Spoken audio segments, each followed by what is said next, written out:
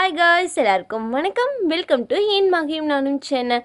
நாம் இன்னைக்கு பார்க்கக்கூடிய topic posterior placenta last video வந்து ஆன்டீரியர் பிளசண்டா பற்றி ஷேர் பண்ணியிருப்பேன். இதில் வந்து போஸ்டீரியர் பிளசண்டா பற்றி ஷேர் பண்ண போகிறேன் எல்லாருக்கும் சேமான பிளசண்டா இருக்கிறது கிடையாது. எப்படி ஆன்டீரியர் பிளசண்டாவில் சிலருக்கு டவுட் இருக்குமோ அதே மாதிரி தான் போஸ்டீரியர் பிளசண்டாலையும் சிலருக்கு வந்து கொஞ்சம் டவுட் எல்லாம் இருக்கும். ஸோ அதெல்லாம் வந்து இதில் கிளியர் பண்ணலாம்னு நினச்சிருக்கேன். இந்த வீடியோ கண்டிப்பாக உங்களுக்கு ஹெல்ப் பண்ணும். ஸ்கிப் பண்ணாமல் பாருங்கள் வேறு ஏதாவது வீடியோ வேணாலும் கமெண்டில் கேளுங்கள் நாம் இன்னைக்கான வீடியோக்குள்ளே போகலாம் வாங்க. இந்த போஸ்டீரியர் பிளசண்டா பார்த்தீங்கன்னா ரொம்பவுமே சேஃபான ஒரு பிளசண்டா அப்படின்னு சொல்கிறாங்க பிளசண்டாலேயே பார்த்தீங்கன்னா போஸ்டீரியர் பிளசண்டாவும் அண்ட் ஃபண்டலும் வந்து ரொம்ப சேஃபானதுன்னு எப்போவுமே சொல்லுவாங்க. ஏன்னா ஃபண்டல்னு பார்த்தீங்கன்னா மேலே வந்துடும் போஸ்டீரியர் அப்படின்னு பார்த்தீங்கன்னா நம்ம பின்னாடி பேக் சைடு அந்த எலும்பு இருக்கு இல்லையா அந்த சைடு வந்து போயிடும். இந்த மாதிரி இருக்கிறது வந்து எப்போவுமே சேஃப்னு வந்து ப்ரெக்னென்சி இதில் செக் பண்ணக்கூடிய டாக்டராக இருக்கட்டும் யாராக இருந்தாலும் சொல்கிறாங்க ஏன் அது சேஃப்னு பார்த்தீங்கன்னா ஆன்டீரியர் கூட கம்பேர் பண்ணும்போது போஸ்டீரியர் ப்ளசண்ட்டாவாக ஒரு அம்மாவுக்கு இருக்குது அப்படின்னா அந்த டைமில் அவங்களோட பேபியோட மூமெண்ட்டாக இருக்கட்டும் அவங்களோட ஹார்ட் பீட்டாக இருக்கட்டும் அண்ட் அவங்களுடைய வளர்ச்சி பாடி வந்து எந்த ஸ்டேஜில் எந்த மாதிரி வளர்ச்சி அடைஞ்சிருக்காங்க அந்த மாதிரி செக் பண்ணுறதா இருக்கட்டும். அண்ட் இன்னும் அண்ட் இன்னும் முக்கியமானது அவங்களுடைய பனிக்கூட நீராக இருக்கட்டும். இதெல்லாம் வந்து நான் டாக்டரால் ரொம்ப ரொம்ப ஈஸியாக செக் பண்ணிக்க முடியும். ஆன்டீரியர் ப்ளசண்ட்டாவாக இருந்ததுன்னா அந்த மாதிரிலாம் பண்ண முடியாது இல்லையா? நான் அந்த வீடியோலேயே சொல்லியிருக்கேன். உங்கள் யாருக்காவது ஏதாவது டவுட் இருந்ததுன்னா அந்த வீடியோவும் செக் பண்ணி பார்த்துக்கோங்க. இதே போஸ்டீரியராக இருந்ததுன்னா பாப்பாவை பற்றி எல்லா டீட்டெயிலுமே வந்து ஸ்கேன் ரிப்போர்ட்டில் அவங்க ரொம்ப ரொம்ப ஈஸியாக கேதர் பண்ணிப்பாங்க. அவங்களால ஃபுல்லாக ஸ்கேன் பண்ண முடியும். போஸ்டீரியர் ப்ளசண்ட்டாக இருக்கிறனால அம்மாவுக்கு பார்த்தீங்கன்னா அவங்களோட ஹெல்த்தில் கொஞ்சம் இஷ்யூ எப்போவுமே இருக்கும். அது லோ பிபியாகவும் இருக்கலாம் இல்லை ஹை பிபியாகவும் இருக்கலாம் லோ சுகராகவும் இருக்கலாம் ஹை சுகராகவும் இருக்கலாம். இந்த மாதிரி வந்து கொஞ்சம் டிஃப்ரெண்ட்டாக ஏதாவது ஒன்று இருந்துட்டு தான் இருக்கும்.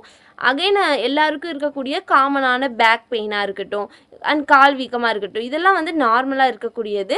அண்ட் முக்கியமானது பார்த்தீங்கன்னா இந்த லோ பிபி லோ சுகர் இந்த மாதிரிலாம் வந்து சீரியர் ப்ளசண்ட்டாக இருக்கக்கூடிய அம்மாவுக்கு வந்து இருக்குன்னு சொல்லியிருக்காங்க. ரொம்ப சேஃபானதுன்னு வந்து சொல்லிட்டாங்க இல்லையா?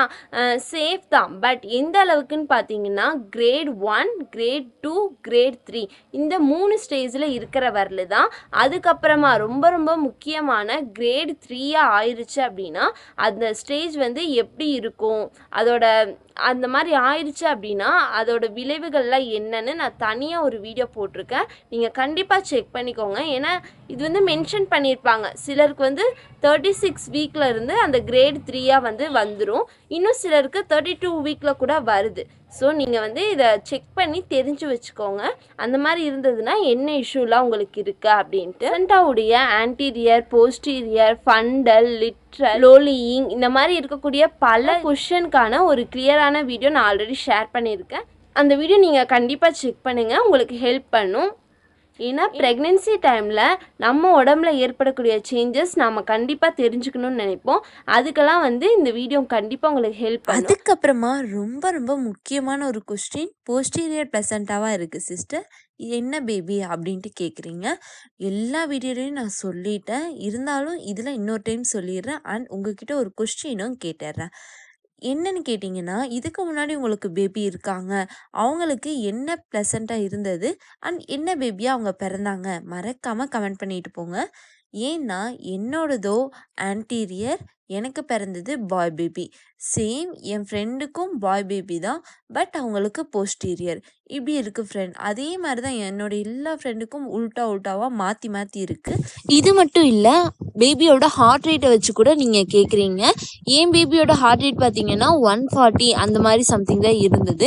அவங்களுக்கு பார்த்தீங்கன்னா எப்போவுமே ஒன் ஃபிஃப்டி ஒன் ஃபிஃப்டிக்கு அபவ் இல்லாட்டி சிக்ஸ்டி கூட ஒரு டைம்லாம் இருந்துச்சு. ஸோ இதுக்கான ஆன்சர் நீங்கள் தான் சொல்லணும் உங்கள் பேபிக்கு எப்படி இருந்துச்சுன்னு சொல்லுங்கள் அதை வச்சு நான் கண்டுபிடிக்க முடியுமான்னு நம்ம பார்க்கலாம். வேறு ஏதாவது வீடியோ வேணும் அப்படின்னாலும் கமெண்டில் கேளுங்க. ஏதாவது டவுட் இருக்குது அப்படின்னாலும் கமெண்டில் கேளுங்க. கண்டிப்பாக நான் உங்கள் கூட ஷேர் பண்ணுறேன்